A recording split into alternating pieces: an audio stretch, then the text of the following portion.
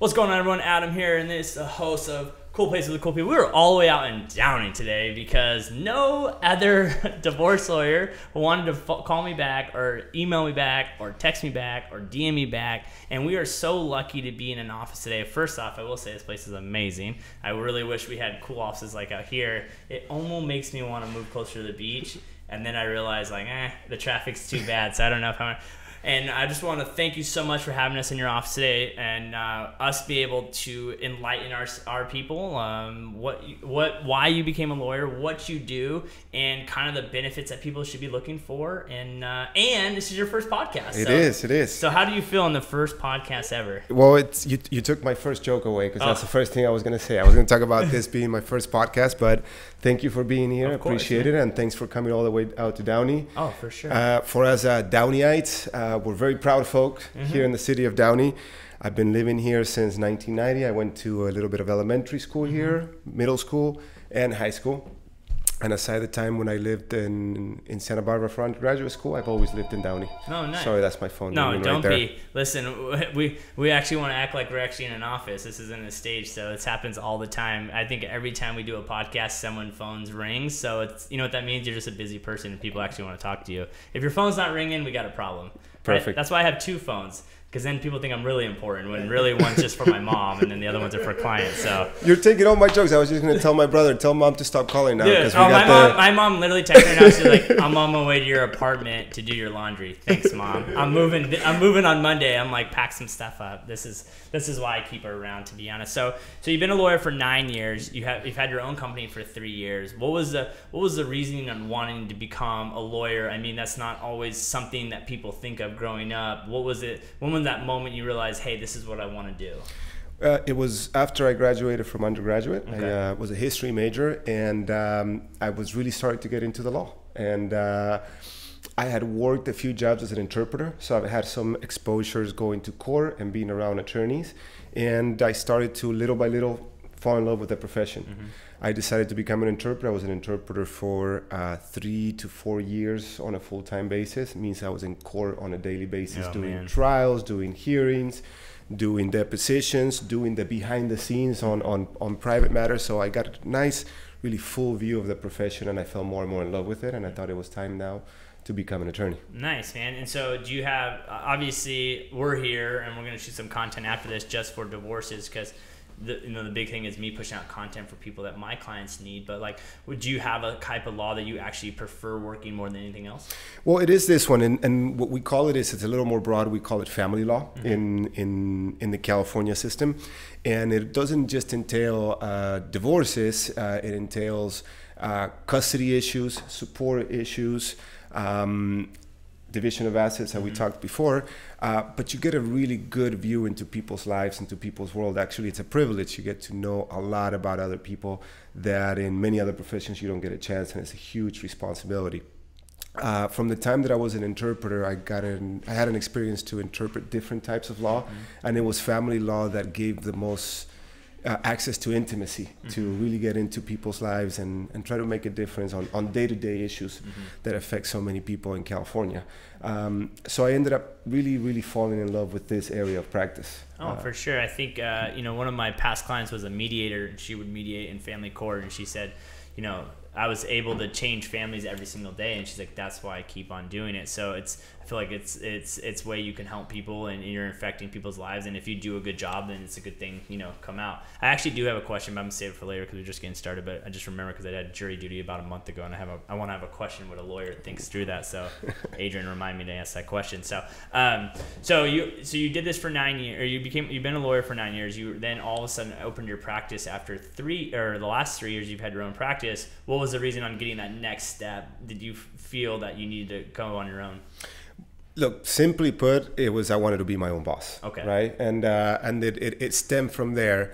Um, I had an opportunity to pursue partnership with my my prior boss, uh, but I wanted to be here in Downey. I wanted to be my own boss. Um, wanted to open up and go my own route. Wanted to focus exclusively uh, on family law. Um, while in the last firm I was at, we- we also dealt with civil matters and some criminal matters, and I just really wanted to focus my attention and my career on family law. And so between wanting to be my own boss, wanting to be in Downey and having the focus of my practice in Downey and wanting to concentrate on family law, those were the different uh, different reasons that mm-hmm. took me to open up my own firm and also having enough experience and after about five years which is when i left my mm-hmm. prior firm um, i thought that i had the, the sufficient experience do you feel like uh, most people most lawyers that you come in contact with are better off going on their own so if i'm a consumer looking for a lawyer in your uh, in family law is it is it more important to go after like a bigger firm, or do you think more of a single a single family uh, family lawyer is better off, or is it just whoever you connect best with? Yeah, I'm, I'm glad you framed it that way. Obviously, I'm going to have a bias Obviously, for that intimacy yes, that you course. get from the solo practitioner, but what you said last is most important mm-hmm. is whether they work for a huge firm um, or they're the principal attorney in a small firm is who you have a good feeling and who you're going to trust. Mm-hmm. Um, if you don't trust that person or you don't have a good feeling with that person, then whether it's someone like me on their own or somebody working for a huge firm downtown, you're not going to feel satisfied. Mm-hmm. Even even even if the level of representation is good, mm-hmm. objectively good, looked from outside, if you don't have a feeling or a contact with your attorney, you're going to feel empty. You're not going to feel like the representation was what you should have gotten. Do you happen because this happens in my world? I think we kind of feel like our industries are almost the same. We're always walking into people's homes. We have no idea what's going on, and then we have to figure out. You know, I, I always am very interested when I go into someone's house that I've never met before. They just call me or they see something, and then I'm like having to pick process. Okay, like why are they selling? What's the, really the truth? And then it comes out later. Oh, we're getting a divorce, or you know, we can't make the payments anymore. Um, and sometimes you're working with someone and then all of a sudden they get don't feel like they can trust you or something happens and they go to somewhere else. Do you guys see that happening a lot after you make contact with a client where halfway through or whatever they all of a sudden feel like, hey, I'm gonna go use a different lawyer? It it happens. It it is a common occurrence. It doesn't happen a lot necessarily. Okay. Um, I've been in full disclosure, I've been on both ends of that Perfect. situation hey, that you're talking too. about. listen, listen. I always say if you haven't been fired, uh, and maybe a little bit of a lawsuit on accident, or kind of the thing, you're not doing a good enough job. Exactly. You're not working with enough people. Exactly, exactly. And so it does. It does happen. I do. Um, I happen to take over more cases than when I'm replaced, but mm-hmm. both of them happen. And within our family law system, it is a fairly straightforward process. It's mm-hmm. just a couple of forms to go from either being self-represented to a, an attorney or for going from attorney A to mm-hmm. attorney B. And then I have no idea, and this is something that i am asking a lot of questions because I don't even know any answer. It's like for in my world, we're not paid until after the thing. How does it work in family law? Are you paying a an up free, uh, you know, uh, a retainer fee up front, and then and then or is it per case or per hour? So the most common way of charging in a family law case, which is the way that I do it, mm-hmm. it's an hourly retainer, and you pay up front, okay. and then it's not a flat fee. Uh, it's based on um, the way I like f- to ask for first retainer is an amount that I would charge you, where I believe that I can begin, carry through, and finish your case in an ideal world, mm-hmm. right? So based on my hourly. I ask and the needs of the client. I ask for a retainer where I think without too much conflict, the case can actually be finalized. Mm-hmm. Now, some things, sometimes things go south and fees go up, mm-hmm. obviously, because obviously. there's more conflict. Um, family law is one of those areas of law where it is very tough to have a contingency type of uh, mm-hmm. plan, which is you get paid at the end based yeah. on the returns, because California has a uh, public policy where they wish people to get back together, right? Okay. So if my success is tied to you ultimately being divorced, then I'm going against public policy. Therefore, yeah. an hourly retainer or flat fees are preferred. Mm-hmm. And uh, if you're ever being asked to enter into a contingency agreement, you should really think twice um, about analyzing it very closely to make sure that everything is being done correct. While it is allowed, it is not the preferred method mm-hmm. of payment for a family law or divorce attorney. Mm-hmm. Yeah, I'm actually. I, I used to never do this. I used to never have like a, a front upfront fee. Like I would just list the house if it didn't sell or they fired me. I would just like you know that's part of the game. I actually started doing that where it's like, hey, listen, this is how much it costs for me to get the house on the market, get started. So if you want to cancel it before our contract's up or something, I, I need to be at least reimbursed. And I finally started doing that this year because I started having I'm like, dude, I'm working my butt off and I'm not making any money and I'm actually negative money because I'm paying for photos and marketing and stuff. So I started even doing what you guys do, like an upfront what does it take for me to just get the house on the market so at least can, I can break even on the back end if something goes wrong. Well, because nobody takes away the time you spent doing it, Exactly. right? You you work that that amount of time. Yeah, it happens to us a little bit as well, which is someone starts, then policy actually works, which is that they get back together. But the work that's been done has been done, and so I, I tend to charge that. Yeah. Yeah, no, for sure. So I see that you have uh, when we came in, we met your a few assistants. So is that is that where you really run your company? Is you and then multiple assistants beneath you? Yeah, that is correct. I have uh, two assistants right now um, who work almost full time. Um, between the two of them, they're here about 60 to 70 hours. Uh, they're fairly young. One of them is um, just finished her first semester of law school, so she wants to pursue a career in law, and the other one is thinking about a career in law. Her father happens to be a district attorney. I also have an intern right now who just started uh, last week. She's a student at UCI and is potentially pursuing a uh, degree in uh, in law as well. And then I also have my brother who is my office manager and handles all the finances and getting cool people like you Yeah, to come over and do a podcast Yeah, in, for in my sure. office. He, he's like, I see some guy I can sucker into doing some media for us, so why not? So, I mean, when me and your brother were talking before, like he he runs multiple restaurants and stuff like that. I'm assuming that entrepreneur lifestyle is in your blood. Obviously, you're basically running your own company. He's running, he's doing things. What was the reason I'm maybe not going down that route and and going down more law? Well, I'm more of I'm more of a book worm, Yeah. you know, and so I always envisioned my career to be very intimately tied to a to a profession where I went to school for a long time. Uh, maybe it's a lack of creativity, I don't know, but uh, yeah, my my my father was a doctor. Okay. My father is a doctor. There's a lot of doctors in my family. I thought about it until um, pre med got pretty real, and um, I realized I didn't want to be a doctor.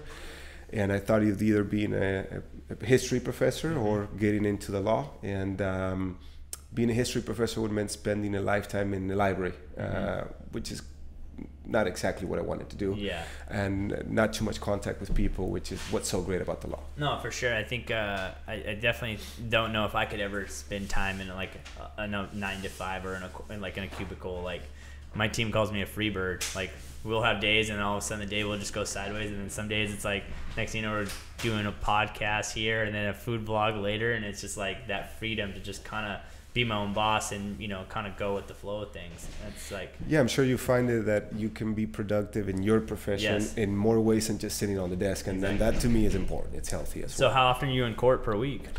Um, look, I would say some sometimes you can I go a couple of weeks without a court appearance, and other times, for example, next week I'm in court every day except for Monday, which is Martin Luther King Day. Uh, but if I were to give you an average, two to three times a week, I'm in court. Yeah. Okay. So I do have a question. But so you do family law, so you- you're you're more working with judges and mediators, right? Right. Yeah. Um, uh, my I was in jury duty last week, and it's I don't know you never did criminal, but like they sent me home first. So I was wondering like what are the thoughts and process of sending people home that are on juries, but you're more working with mediators stuff. Well, look, I can tell you from my time as an interpreter as well, uh, because I did a lot of trials as an interpreter. And f- if you have an intimate knowledge or what appears to be an intimate knowledge of the law, both both sides want to get rid of you. if it so- seems you have a profession that's more geared to be antagonistic towards police officers or have a history that is antagonistic to police officers or men in uniforms, the district attorney, the people that are trying to put the defendant Yeah, in yeah. jail, they're going to want to get rid of you Yeah. right? And and vice versa. If you have a lot of family that are in law enforcement and whatnot, then the defense is going to want to get rid of you. Uh, luckily for luckily, um, not that I'm trying to get away from my civic duty, but uh, for attorneys or somebody who's been in a court, they, they almost just they kick us out of juries. Yeah. They tend to kick us out of Man, I should have became a lawyer just for that. One Just time. for that, that'd have been worth it, right? It's that one time, so I wouldn't have to do jury duty.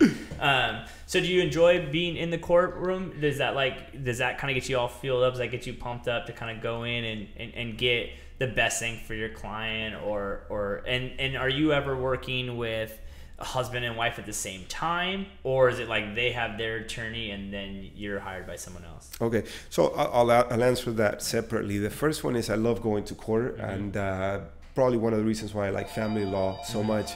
It's um, there's a lot of litigation, right? And so you're in court quite often. Um, you're also in front of mediators quite often, uh, trying to resolve matters. Uh, and then you're also right. Family law is not a jury. Uh, it's not. It's not an area of the law that uses jury. So all decisions are either made by the parents by agreement, or by a judge when they can't agree.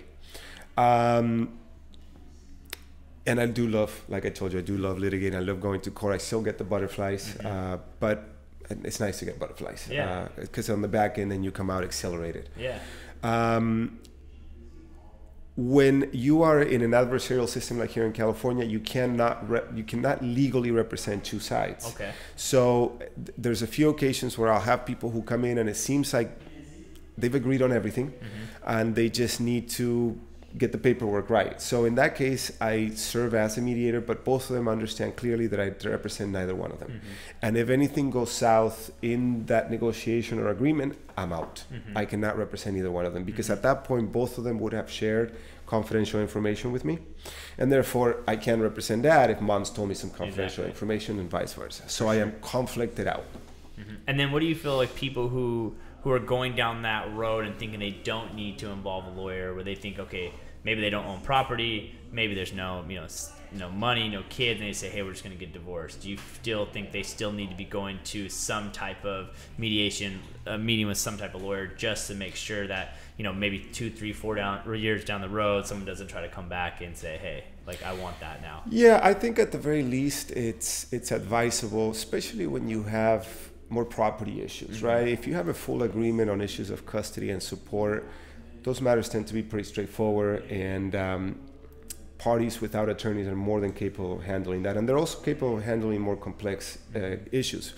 However, if you are dividing multiple assets, um, multiple homes or multiple businesses, and even if you're doing that by agreement, it behooves you to have an attorney independently look at an agreement that you're contemplating signing. So it's not necessarily that I'm telling you, no, get an attorney and then negotiate. Is if you have a good working relationship with your ex spouse and you trust one another, you can do it all on your own. But I think I would advise you that once these agreements have been reduced to writing, you take your time and you go and consult with an attorney just to uh, get an idea of whether what you're doing is fair under the law, it is what you would be entitled to, and whether what you think you're agreeing to is reflected in the writing. hmm And then, do you feel like obviously I li- I've lived in California my whole life, and I'm starting to get to the age where people are going into family court and having to be solved and divorces and stuff like that. And you know the the uh, what people think is that a man in California always gets screwed in a divorce. Is that like actually true, or is that just you know what people have been told their whole lives? I, I really think I have this. I have quite an issue with this with my clients, and quite an issue in that I have to spend some time explaining it. Um, no, that, that's that's not the answer. Uh, the code, the family code, treats both parents as parents. It Mhm. doesn't differentiate between mom and dad. Um, what happens? What happens is that up, up until now, at least, the man tends to make more money than the woman, though that is disappearing faster Sure. and faster. I'm And looking for one that makes more money than me as quick as possible. I haven't found one yet, but Not- the moment I do, not a bad idea. yeah, not I'm, a bad idea. after that. In, in that case, if you were to get a divorce, then you would think that it would be made against women, or or, Yeah. the, or your or your future ex-wife would Yeah. think that. Um, but what happens is that a lot of times, if the man makes more money, or they haven't been the main provider Mm-hmm. for childcare and, and taking care of the children, they end up having less custody time and paying support, Mhm. and therefore they feel like the system's out to get them. Mhm. Um, part of my job is fully explaining Mhm. these concepts of custody, explaining how support gets calculated. Um, hopefully, with the underst- you know, hopefully with the goal that you come out not thinking Mhm. that the system's rigged against you. Mhm. And then everyone always talks about the the ten year barrier. Like if you've been married over ten years or been together for more than ten years, is that an actual law or is that just like like before men think they're gonna You know that that creates also a lot of confusion. The, the ten year issue applies in a very narrow con- in a very narrow area of family law, which is spousal support. hmm It has nothing to do with division of assets, Mhm. with properties, with children, or with child support. And all it really says is that any marriage that's been at least 10 years of, or longer is by definition a long marriage. Mhm. And therefore, you, as the payor of spousal support, will be paying spousal support potentially forever. Forever meaning till retirement. Okay. Um, if the marriage is less than 10 years, then it is presumed that it's a short-term marriage, and therefore the duration for which you pay spousal support is half the duration of the marriage. Okay. Okay. Now, when you get to that 10-year mark, it's it's a bit of a gray area because if you've been married for nine and a half years as opposed to 10 and a half years, why would one be forever and the other one only half? Yeah. So you have a diff. So then the attorney and understanding those nuances come into play. Mm-hmm. But the 10 year rule is very pervasive in my practice because people think that it applies to Everything. a broader thing. It's Yeah. like, I, you don't get half of my property unless we were married 10 years, or you don't have a right to child support unless we were married. No, it just only applies to spousal support. And it is only a guidance saying that it is presumed to be long term if it's long, over 10 mm-hmm. years, presumed to be short term if it's less than That's 10 it. years. And then and then And, it, oh, and let me just tell you one more thing: it, it doesn't affect the amount Okay. of spousal support, Just how long? the duration. The amount then is driven by other factors. Okay. And then do you do you then and do you see a lot of people when they start getting to that 10 year mark then they're like, you know, if they've been on the work or, or they're like, oh, I got to get to 10 year, like I'm going to hang on a little bit longer or I'm not going to hang on. It, it happens. Yeah. It happens. And Yes. then does that count like towards like if you're legally separated, does that count like say you're legally separated and then you go over 10 years, does that count before or So, so your marriage is not the, the the duration of your marriage is not dictated by necessarily when you file for divorce. is when you got married, which is pretty straightforward. Yeah. There is a marriage certificate, and when you separated, Okay. right? And separated is when you stop being a couple, Mm-hmm. right? More often than not, is because one party is moving out of the house, right, or the family residence. Yeah. Other times, because of finances, they stop acting like a couple, Mm-hmm. right? They stop sharing a room. They, they segregate their, their accounts. Mm-hmm. It's a question. It's what we call a question of fact, got it? such that maybe you can be filing for divorce in 2018, Mm-hmm. But you've been separated since 2014 because that's when you stopped living together, and that qui- that happens all the time. And you got married back in 2001, so that's a 13-year marriage, even though you're not filing for divorce until 2018, which Got would be 17 years after the marriage. Man, I'm learning so much today. I, I hope you know, like this is we do a lot of podcasts, but this one's actually like super interesting to me, and because it's a lot of things that you hear all these things, but when you actually sit down with someone, you just don't know. Like you know, and I'm not married, so I've never had to cross this bridge. But my sister's going through divorce, and just hearing these conversations, like, oh, I actually have a question for her. I'm gonna ask this question. Um, if you're going through a divorce and you get an inheritance out of a trust, does that does your spouse have access to that through the divorce? Okay, so remember everything in the law is nuanced. For sure. But the law says that any gift, and an inheritance is a gift, Mm-hmm. is separate property, regardless of when you receive it, Perfect. right? So either before, during, or after the marriage is yours. But there's always caveats, right? Mm-hmm. So if he did anything to, or in this case, your sister, Yeah. if she did anything to indicate that she have, the term we use is that she gifted it to the community, then he may have access to it. Mm-hmm. Got it. Okay. It. So how would that be done? There's different ways that that can be done. Mm-hmm. Um, maybe we want to discuss that. No, for sure. No, I like that. Off the record, yeah, or- sure. no, no, because uh, I mean, my, my everyone knows my life. My grandfather passed away and is living with my sister in inheritance. She's already going getting separated. She's in court, and then that was our debate. Like, do if this is transferred because we're gonna do it in the next few weeks. If this is transferred to her, and then can he come back and get it? But they've already been separated for like years. Yeah. So remember, it's a gift. So even Yeah. if, if even if it was during the marriage, it Yeah. would be hers. The, the, what I meant saying is, for example, let's say they were married. She gets the inheritance, and she puts it into a joint account Yeah. that they use for the monthly expenses. Mm-hmm. Then that can be presumed to be a It's- it's gift. okay. In this case, in this case, based on what you're telling me right now, it seems to be clearly separate property. Perfect. Awesome. Okay. So, what do you think the the advice? You know, because obviously everyone doesn't know what the first step is. You know, you- you're going through, and all of a sudden now you're hit with, okay, like what do I do? I'm, I'm in a situation where I, do I reach out to a lawyer? Do I not? Do we try to make it up ourselves? Do you do you think just sitting down with someone when you're just not sure is the first step to do, and then to kind of get your bearings together? Um, and then start making decisions. I, yeah, I think uh, I think spending an hour or so with an attorney at the outset is, is very helpful. Okay, and um, I think so because one is not terribly expensive to do a consultation. Many many attorneys will do free first time consultations, and other ones will charge you a consultation fee that is well worth it. And that and, and the way that I frame those kind of consultations is I I don't try to push the idea that you need me. I really try to inform you as much as I can. And many people have a go at it themselves. They can they're they're, they're smart with forms. It's just a lot of forms, Yeah. and they can perfectly do it on their own. But I think it gives you a good parameter of what will come to spend that time with a lawyer. Because, for example, the forms or a lot of the reading that you will, that you will do will not explain the difference of the 10 year rule that we just Exactly. discussed. Mm-hmm. And you can wrap your head around that 10 year rule and put it around everything else you're doing in your divorce, and it turns out it doesn't apply, mm-hmm. right?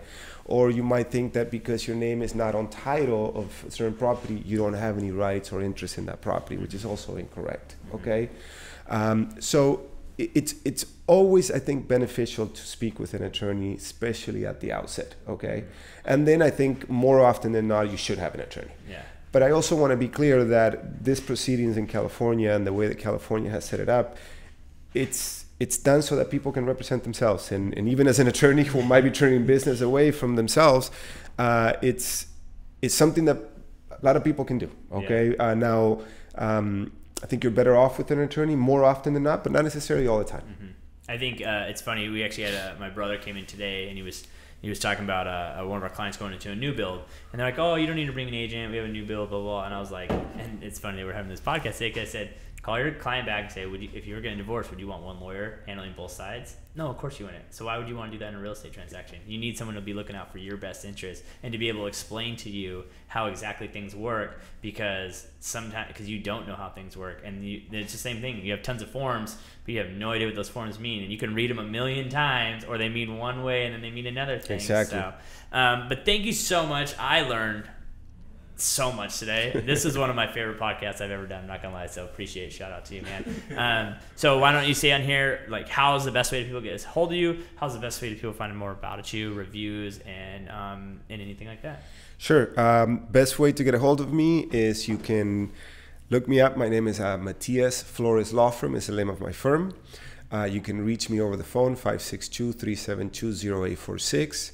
You can find me on uh, Facebook uh, under Matias Flores Law Firm. You can find me under Instagram in a bit of a more of a nickname. It's uh, Matutors. Um, on uh, on Instagram, okay, and uh, there's Yelp reviews, there's Google reviews under Matias Flores Law Firm. Awesome, man. Thank you so much for taking the time. And remember, guys, until next time, peace.